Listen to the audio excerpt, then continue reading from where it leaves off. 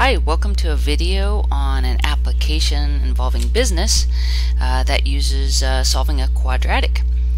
Alright, so our problem's asking us to find uh, a cost function, a revenue function, and a profit function. And they give us some information here. So they're giving us that garden hats have a fixed cost of 370 and that each hat costs $13 to produce. So we can come up with a cost function because our cost is going to be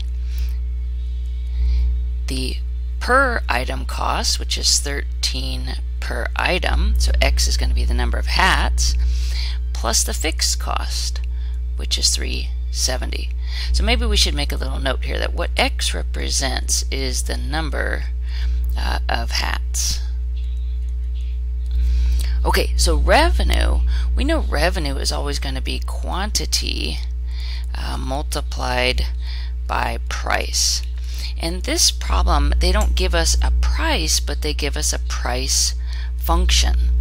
So the quantity, which we mentioned up here, is x, because x represents the number of hats, is going to get multiplied by that price function, which is given to us up here.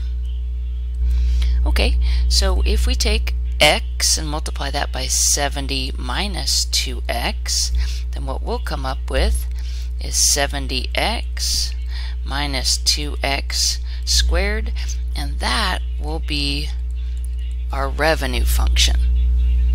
So next, they ask us to find a profit function. Profit is always our revenue minus our cost.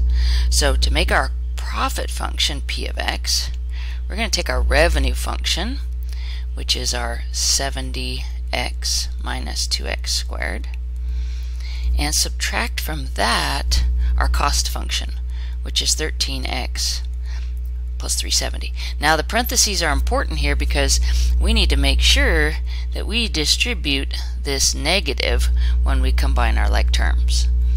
Okay, so our profit function here is going to be, if we combine like terms, uh, 70x minus 2x squared, let's take away 13x and take away 370. So combining we have a 70x and a minus 13x. We can come up with a profit function Let's put it in descending order of negative 2x squared. Uh, 70 take away 13, that's going to give us a plus 57x and then minus a 370. Okay, so we've got each of these. We've got ourselves a cost function back here. We've got ourselves a revenue function here. And we've got our profit function all cleaned up and simplified. Okay, uh, so then the last thing, at what quantity is the smallest break-even point? Okay, so breaking even, uh, you can find two ways.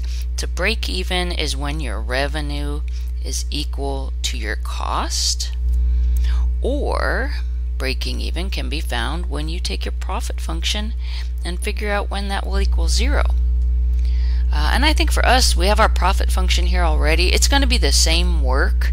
Um, so I'm going to go with the profit function and setting that uh, equal to 0. So I have negative 2x squared, 57x minus 370. Uh, let's make that, whoop, 370, equals 0. Uh, so to solve this, we have some options. It's a quadratic. We could factor it, try factoring. We could just go right to the quadratic formula.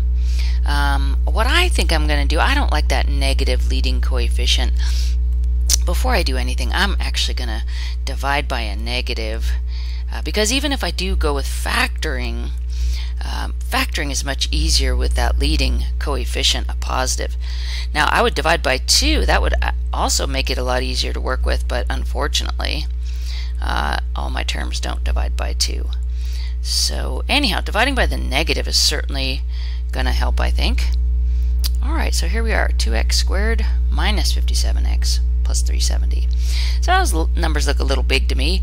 Um, I think it does factor, uh, but I think um, I'll show you the quadratic formula as a review. But if you're good at factoring, I would just give it a shot with factoring. Uh, let's see here. A for my quadratic formula is going to be 2b negative 57 and C is going to be a positive 370.